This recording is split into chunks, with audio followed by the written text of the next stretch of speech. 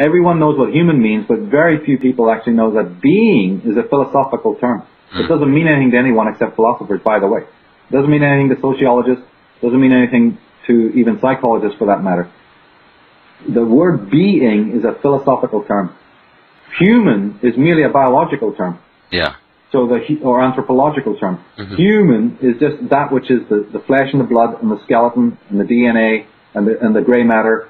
And it, just as you'd study an ant, an ant or a tree or a uh, orangutan, right? Human is just that lump of flesh standing there. Mm. And the etiology, the history of how it came into being, and all of this stuff, from more of a physics, biological point of view. Being is put there because that's meant to summarize that this is something else. It's not just an, uh, you know, an animal or a tree or an inanimate object. Yeah. The human being, the being is a monumentally important term to, to denote the fact that the human is not a bloody machine. Mm. And of course, we elaborate on this in the talk to no end. That why? What? What is the difference between even a machine and a human being? Mm. And all that. But we don't want to, don't want to get into that right now. But the fact is that that very term "being" is completely invisible. When you say human being, they just they people imagine again that we think we know what that term means, and we don't. And the first part of the talk on post-humanism is to try and explain what that actual term implies, what it means, and it's really a magical, amazing thing. Mm-hmm. Because you start to find out that when you talk about harmony of the, of the universe, you start to discover the miracle and the perfection of what it means to be a, a human being, mm-hmm. both from the physical side and from this other uh, non-physical or spiritual side. Mm-hmm. And what is happening now is that the kind of controllers that have been controlling the world for years, they are just looking only at the human side. And therefore, that's just some sort of inanimate, uh, uh, corporeal entity without, not even without, not, not even without spirit, without consciousness. Listen, these, these uh, physicalists don't even grace us with, we know that they don't grace us with spirit. Hmm. They don't even grace us with consciousness. They keep telling you that's some sort of byproduct of the brain or something. Hmm. See, so the people who are in control of the future here are people who have always, from the time of Francis Bacon onwards, and even before that, have looked at human being as some sort of um, lump of machinery. This is hmm. the case for Malthus and Thomas Hobbes, and as I say, Francis Bacon, and right up to modern day, uh, even though they have many problems today that sort of blew that out of the water with the quantum science and all, but they kind of keep quiet about that. They don't want the Joe public to know that they their, their mathematics and their science is a com- in a complete state of disarray hmm. because they, their theories have you know fallen flat, but they don't want people to know that. Hmm. There's only few, isn't there? I'll be covering some of this stuff in the talk as well to show you these the- theories that are of how it relates to backing up what I'm saying. But yeah, they don't want every person to know about it. Hmm. But they work upon that human level and say that that human being can be made more perfect, more um, precise, uh, you know, uh, can maybe live longer, can function better, all of this nonsense. And we slowly, slowly buy into it. And it's not that they're necessarily going to replace us with robots.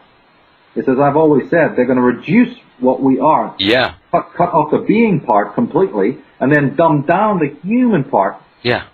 To the level of a robot in thinking. And the actual, what we call Yeah. thinking, will be reduced to just a mere functional, robotic, uh, repetitive type of behavior, monotonous, repetitive, and purely functional type of behavior. And this is what they do when you say, put the machines there. When you make a phone call, it's some bloody machine that's talking to you. Uh, you know, it's not even a human being. And, Yeah. and, and, and, you know, all the accoutrements of the technological world, which taken individually aren't necessarily bad things, but all together, yeah, we'll start to operate like machines ourselves because our daily life comes in contact with machines so many times that even our language, even the way we speak, I've heard it in, in places where even the tone of people's voices is becoming completely mechanical, including their behavior towards you. Yeah. And they'll then, uh, you know, in not too distant future, you're going to be in some sort of mad Star Trek crazy Borg world where, you know, you're not even getting cues from people that are even what you would register as being human. No, you hit the nail on the head there. You know, this is what I, this is what I mean ab- about our psychology being reduced to the Borg. You know, it's not so much robots running things; it's us being the bloody robots. You know what I mean? And, well, there's that word again, being. You know. Now, Well, uh, there's a drag factor. You, person sitting listening to what we're saying here might think, oh, it'll never happen to me. Hmm. Oh, yeah? When there's a maelstrom And when there is this quicksand that the whole world is becoming, you may not have a choice. The only way that you're going to uh, get out of this, the only way that you can guarantee that this won't happen to you is to continue being what a being is. You can't stay static and say that'll never happen to me. The drag factor alone will drag you down. You have no choice. You therefore it is an active it's an activity that you have to do. You have to investigate what being is. You've got to work on the other side. You've got to not only deconstruct the negative pollution that's coming in to infect your mind and the mind of the people you love, but you also have to do some active work as well. That means get in touch with what it is to be a being. And this is what not a lot of people are doing. They take a lot of sidetracks. Or they ask some guru to tell them or some new age, you know, sort of uh, approach. But that's totally in the early stages. One has to go much, much further to discover, and ultimately they have to do it.